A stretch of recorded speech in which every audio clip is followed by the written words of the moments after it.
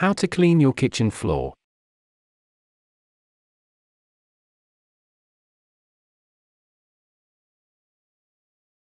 Let's face it, between cooking, meal prep, and general foot traffic, kitchen floors can start looking a bit worse for wear. But with all the different mops and cleaners out there, how are you supposed to know the best way to clean your floor? We've got you covered. Watching on to learn the best cleaners for all types of floorings, as well as the best way to mop your kitchen floor. With a little TLC, your floors will be beautiful and sparkling in no time. Welcome to Best Choices. This video will tell you how to best cleaners and mops by floor type and best cleaning techniques. Now let's get started. Things you should know. 1. Clean linoleum, marble, granite, and slate with a pH neutral cleaner, and clean hardwood floors with a hardwood safe cleaner. 2. Vinegar is a good cleaner for laminate, tile, unwaxed linoleum, and vinyl. 3. Use sudsy water to clean ceramic and porcelain tile, and a bamboo or hardwood safe cleaner for bamboo. Method 1. Best cleaners and mops by floor type.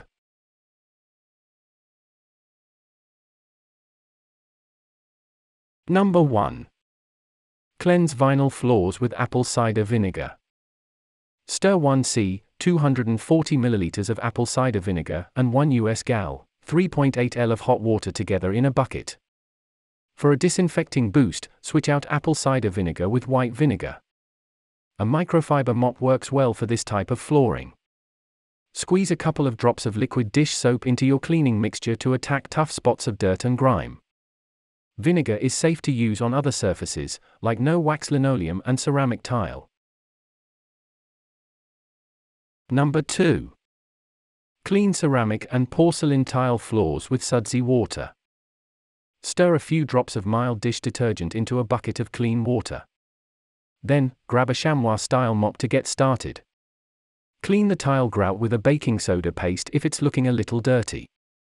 Scrub your tile floor with fresh lemon juice or a non abrasive all purpose cleaner if your tiles look a bit foggy from the soap. Number 3. Scrub slate, marble, granite, or linoleum with a pH neutral cleaner.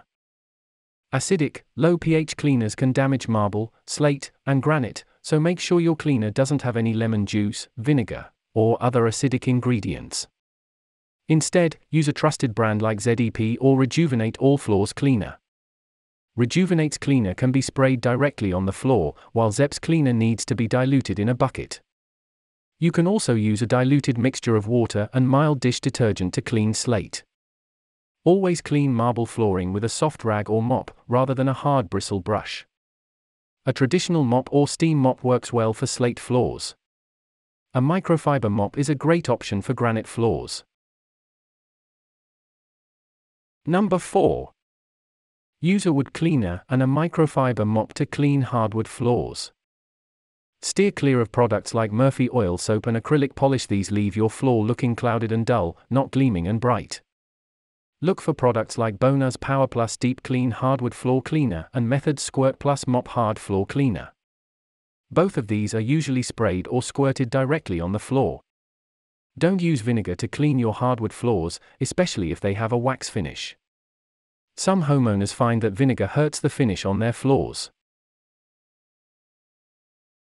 Number 5. Clean laminate floors with warm water. Spritz the water over the surface of your laminate floor and go over it with a flat mop.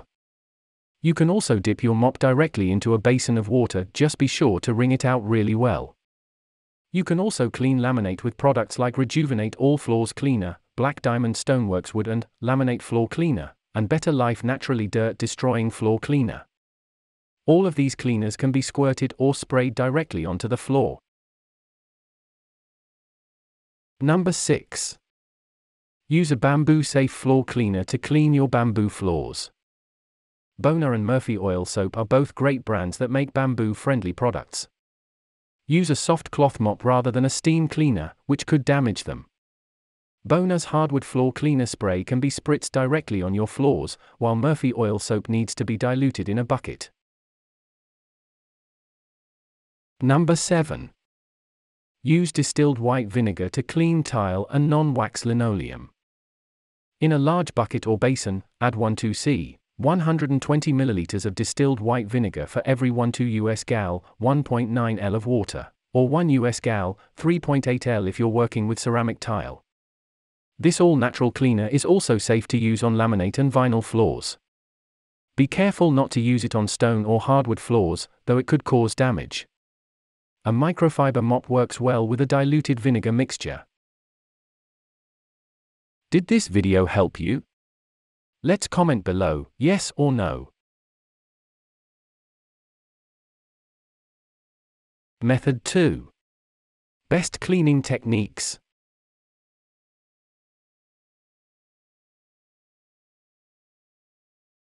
Number 1. Vacuum or sweep your floor. Vacuum or sweep your floor to get rid of any dirt, crumbs, and or debris. Go from corner to corner in your kitchen, sucking or sweeping up any crumbs or debris that you see. Focus on spots where crumbs and grime seem to collect the most, like beneath the countertop or by the trash can. If necessary, check that your vacuum is set to the correct suction setting before you get started. Some vacuums have settings for different floorings and materials, like upholstery, curtains, carpet, and hard floors. Expert tip Use a broom if you don't have a vacuum. Ashley Matuska of Dashing Maid says, make sure to move everything off the floor, because you don't want to have to stop and set your mop down every time you have to move something. Then, sweep or vacuum the floor thoroughly. However, if you have a vacuum that works on hard surfaces, use that rather than a broom, because it will pick up and remove dirt, rather than just sweeping it into the air. Number 2. Dip your mop into the diluted cleaner and wring it out. Take extra care to wring out your mop if you're cleaning a laminate, linoleum, or hardwood floor. These surfaces are best cleaned with a slightly damp mop. If you're using a string mop, be sure to wring it out multiple times before wiping down the floor. Skip this step if you're using a spray cleaner, in this case, just spritz your cleaner directly on the floor and go over it with your mop. Number 3. Start mopping in a corner and work your way out.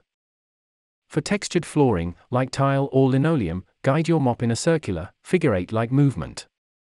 If you have a hardwood floor, follow the grain of the wood with your mop instead.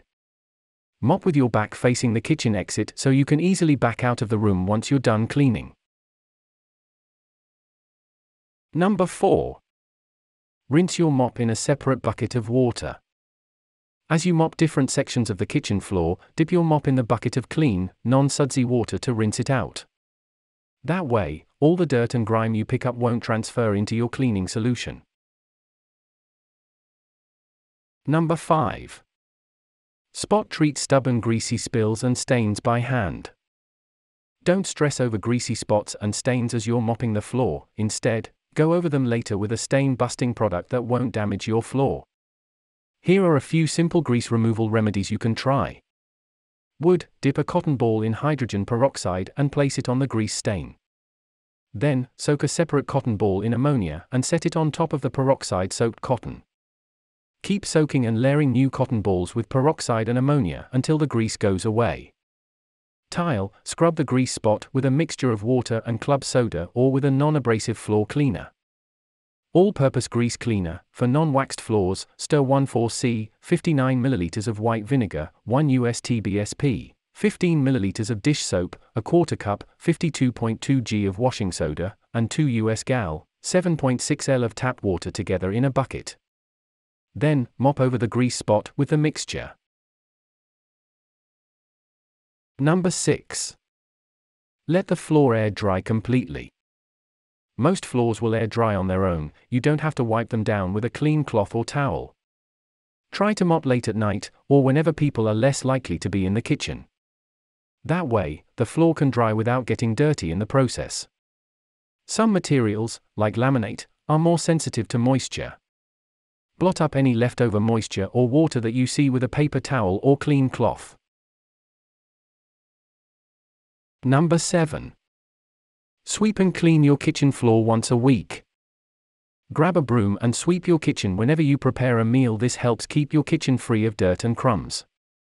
Then, set aside time each week to mop your kitchen floor. Your cleaning schedule really depends on your household. If you have a really busy household, you might have to clean your floor throughout the week. Tips